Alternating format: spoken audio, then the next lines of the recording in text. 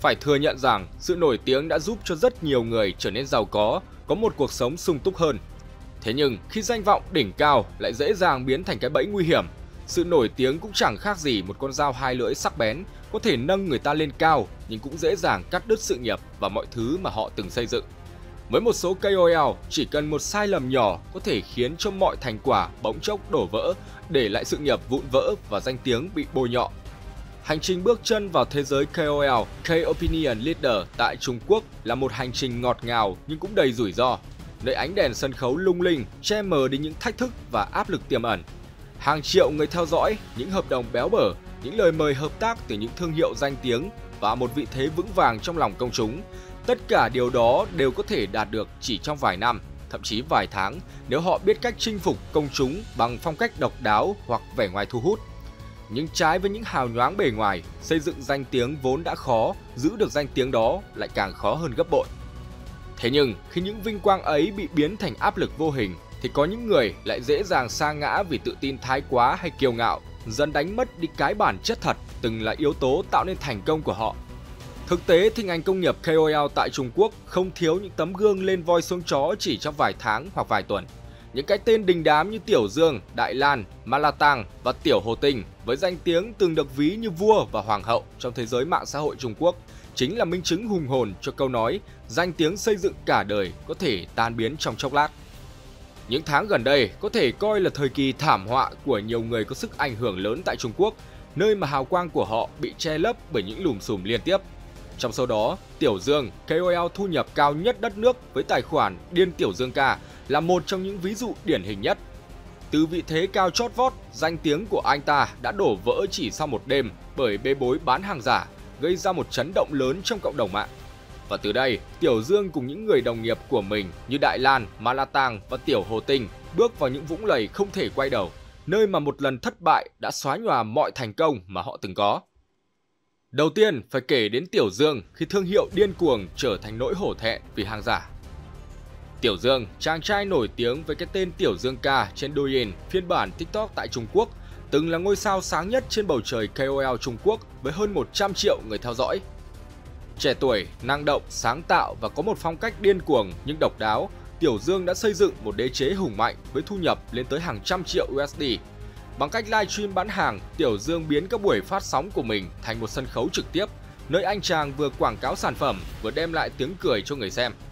Với phong cách này, Tiểu Dương không chỉ là một KOL đơn thuần mà còn là một biểu tượng cho thành công đột phá trong giới livestream tại Trung Quốc.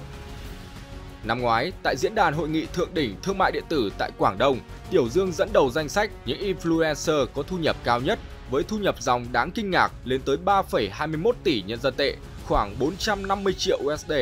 Nhưng trong mắt nhiều người, danh tiếng này cũng giống như chiếc bánh trung thu cao cấp mà anh ta từng bán, chỉ là chiếc vỏ hào nhoáng bên ngoài, rỗng tuếch bên trong. Và rồi, vinh quang này không kéo dài được lâu. Tháng 9 vừa qua, Tiểu Dương vướng phải vụ bê bối lớn khi bị phát hiện bán bánh trung thu giả mang thương hiệu Hồng Kông cao cấp. Câu chuyện bi hài ở đây là những chiếc bánh ấy thực chất có nguồn gốc từ một cơ sở sản xuất nhỏ tại Quảng Đông và chỉ có giá gốc khoảng 59 nhân dân tệ trên 3 hộp. Đáng nói, khi mọi việc bị phanh phui, Tiểu Dương lặng lẽ rút khỏi các diễn đàn trực tuyến, không một lời xin lỗi hay biện hộ.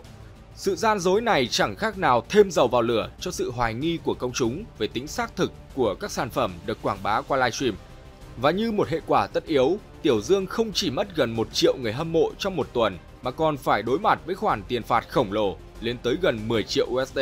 và lệnh đình chỉ hoạt động từ phía công ty đồng sáng lập. Nếu như Tiểu Dương gặp vấn đề vì hàng giả thì Đại Lan lại có một cách tiếp cận khác để tự hủy hoại danh tiếng của mình. Đó là chuyển nghề từ huấn luyện viên thể hình thành chuyên gia tài chính mà không cần qua bất kỳ lớp học hay khóa đào tạo chính quy nào. Ca này ở Việt Nam thì cũng không khác gì mấy ông lùa gà đâu nhỉ. Ban đầu, Đại Lan chỉ là một KOL thể hình với lượng người theo dõi không mấy nổi bật. Thế nhưng, nhận thấy sự phát triển nóng của thị trường chứng khoán Trung Quốc, anh nhanh chóng xoay trục nội dung sang các khóa học tài chính. Đại Lan bắt đầu đăng tải video khuyến nghị đầu tư, hứa hẹn sẽ biến người xem thành những doanh nhân thành đạt với những khóa học có phí đắt đỏ, có giá lên tới gần 300.000 nhân dân tệ. Đỉnh điểm là sau khi Trung Quốc công bố các biện pháp kích thích kinh tế, Đại Lan liên tục đăng tải các video khuyến nghị mua cổ phiếu, kích động người xem đầu tư vào các mã chứng khoán mà anh cho rằng sẽ tăng giá. Thế nhưng mà đời không như là mơ và Đại Lan cũng không có phép màu. những lời khuyên đầu tư của anh đã khiến hàng ngàn người rơi vào tình cảnh thua lỗ, đặc biệt sau khi anh khuyến nghị những mã cổ phiếu chắc chắn tăng giá nhưng lại đi xuống không thường tiếc. Khi sự thật lộ ra, Douyin đã xóa tài khoản của Đại Lan với lý do tư vấn tài chính bất hợp pháp và không có giấy phép. Hình ảnh từ chuyên gia đã hoàn toàn sụp đổ, để lại bài học rằng đôi khi để kẻ mù dẫn dắt cũng chỉ tạo ra một đoàn người mù lòa đi theo. Nếu như Tiểu Dương và Đại Lan bị chỉ trích về tính chuyên môn và sự trung thực, thì Malatang lại đi vào vết xe đổ bằng cách tự tay đào mồ cho sự nghiệp của mình khi xem nhẹ quyền riêng tư của người khác.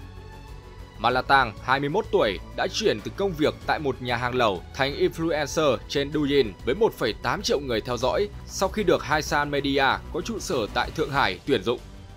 Thế nhưng không may thay, trong một phút ngẫu hứng, cô nàng lại lạm dụng quyền lực truyền thông của mình.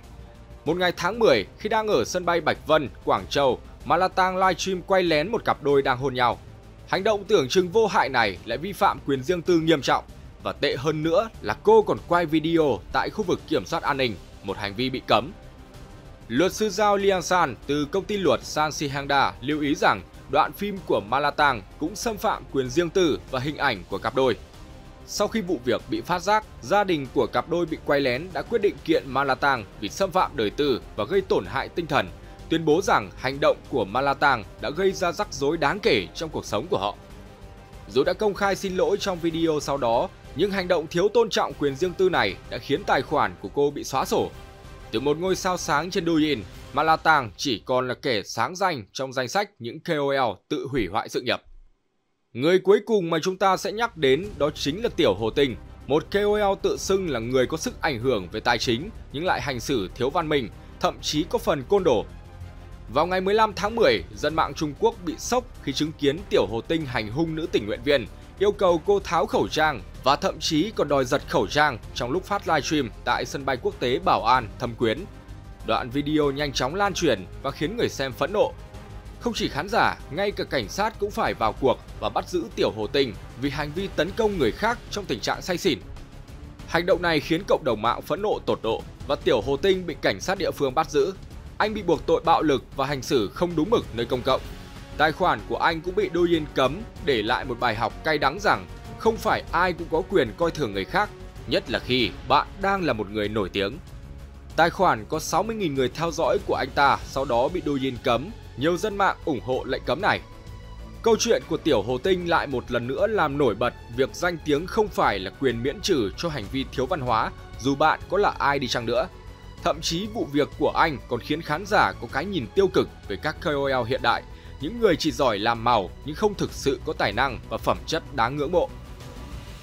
Sự sụp đổ của hàng loạt KOL đỉnh đám tại Trung Quốc cũng chính là lời cảnh báo sắc bén cho những ai đang sở hữu ánh hào quang và tầm ảnh hưởng